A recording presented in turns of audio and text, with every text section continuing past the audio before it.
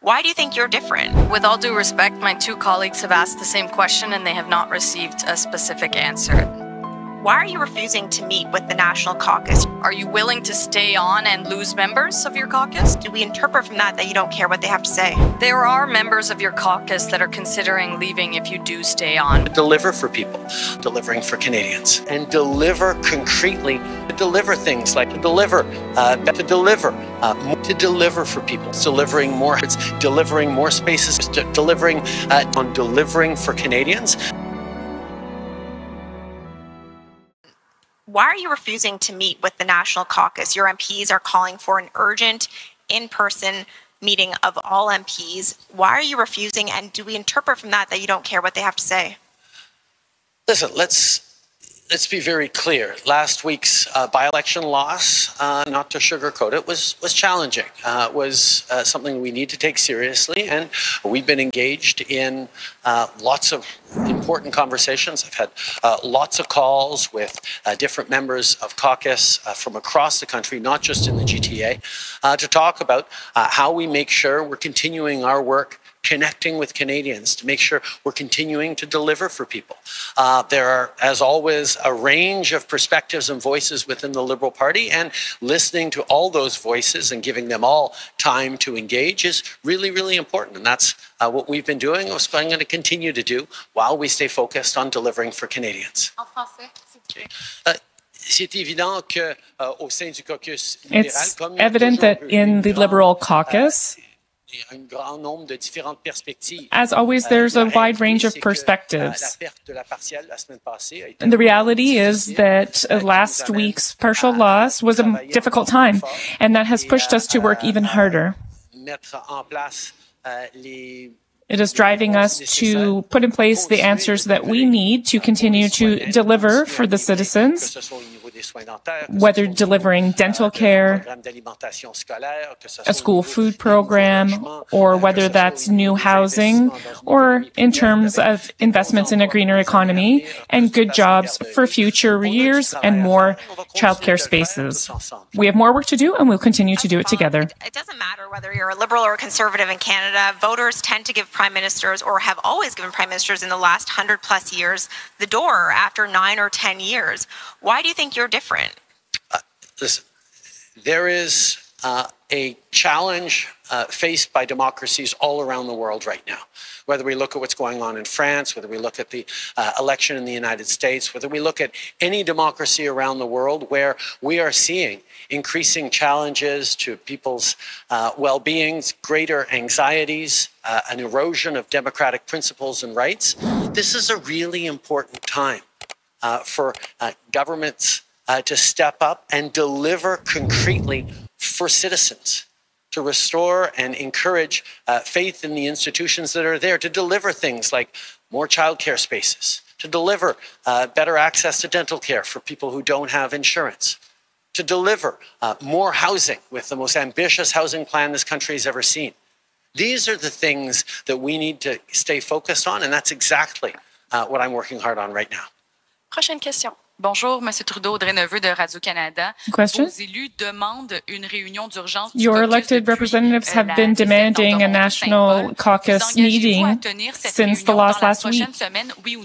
Will you be holding that meeting next week? Yes or no? Answer. First of all, I had a meeting yesterday with the caucus executive. We talked about a number of different issues that we can continue to do to deliver for Canadians and to rally the team. We'll continue to engage in that discussion, and I continue to be committed and engaged with MPs across the country. We had good conversations last week, and we'll continue to have more. I'm listening to the entire caucus and not just the ones speaking to the media. Question. Some MPs are demanding your departure. You intend to stay in the position. What makes you think you still have the moral authority to lead the troops? Answer.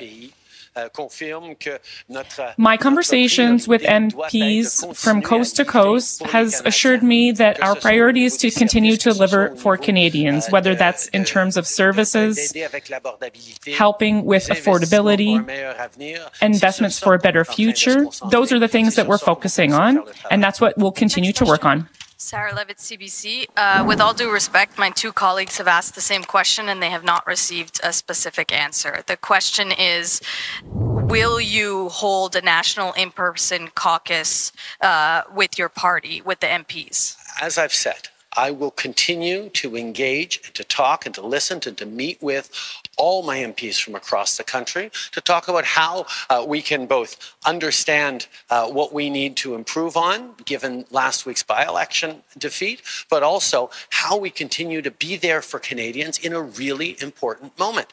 Uh, people are anxious in Canada and around the world, and a government needs to be stepping up to deliver for people, whether it's delivering more housing and support on rents, whether it's delivering more spaces in childcare, whether it's delivering uh, dental care services. These are all things uh, that the Conservative Party has said uh, they will cut or eliminate. These are the things that actually matter for Canadians. These are the things that we are focused on as a team.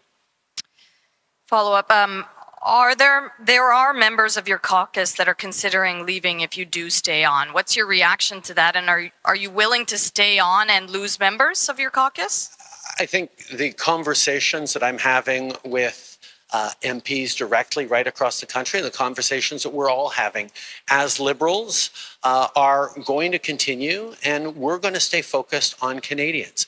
I can't speak to uh, to uh, what people in the media are thinking. That's your job, but I can speak to the uh, strength and focus that all Liberals have on delivering for Canadians, and that's what we're going to continue to do.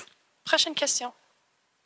Bonjour, Marie-Lise, TVA Nouvelle. Pourquoi rester en poste si votre why stay on if your popularity is bringing the Liberal Party down and would promote a Poilievre government?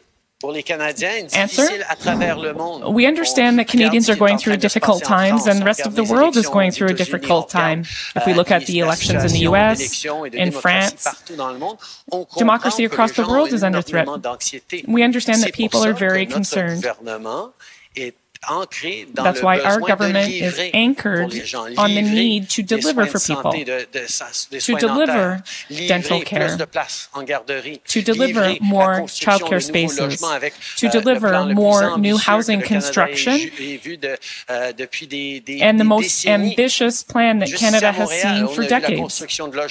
Just here in Montreal, construction has increased by 200% over last year. This is the work that our government is doing to help people during anxious times and we'll continue to do that work to deliver for Canadians. Question? Team members uh, have asked you to step down. What do you have to say? Euh, Answer? I've had frank and direct conversations with some euh, members, and those conversations are about the euh, challenges that we are facing and what we faced in the by-election loss. However, our focus is still on Canadians and still on the support we need to provide and the work we need to do together. Oui, bonjour, c'est Trudeau, Vincent Larin pour la presse. Question? Je me demandais, qu'est-ce que vous allez faire I wonder, pour rassurer vos députés What will you do to reassure your MPs who are concerned about the by-election loss in Toronto-St. Paul? D'abord, ces, ces conversations que je suis en train d'avoir, qu'on est en train I am having those conversations. We are having those conversations as a team. We will continue to deliver de tout ce qu'on est en train d'amener aux Canadiens and make sure that whatever we do has an impact, a positive impact on Canadians. We're making investments that are providing concrete assistance to Canadians in these times of uncertainty based on the instability we're seeing across the world. So we'll continue to support people and to do that work.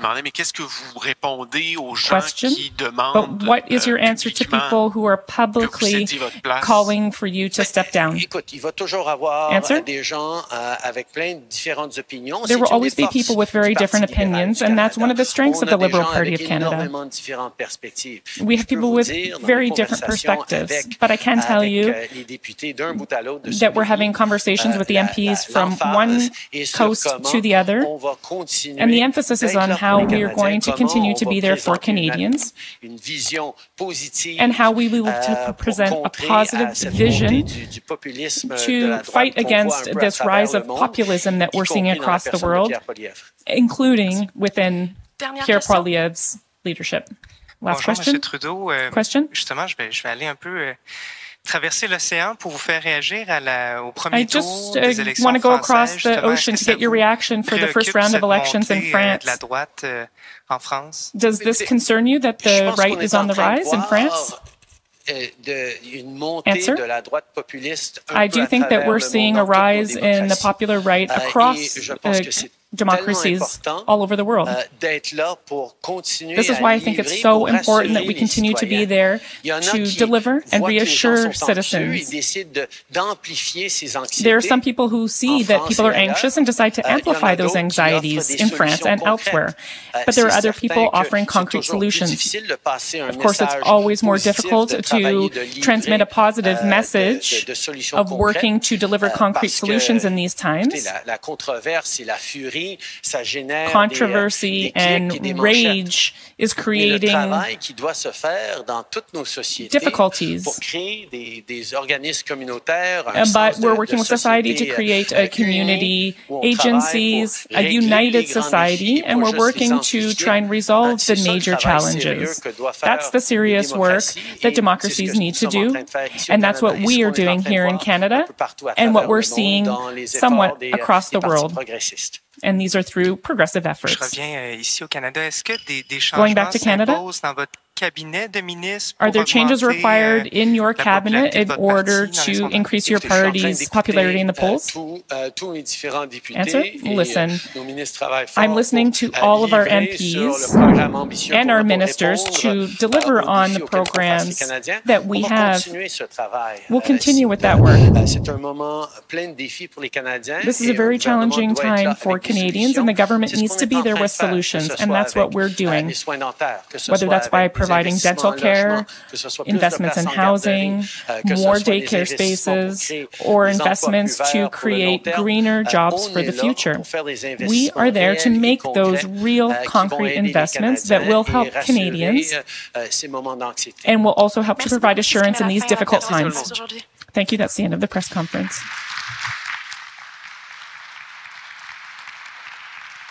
Montreal.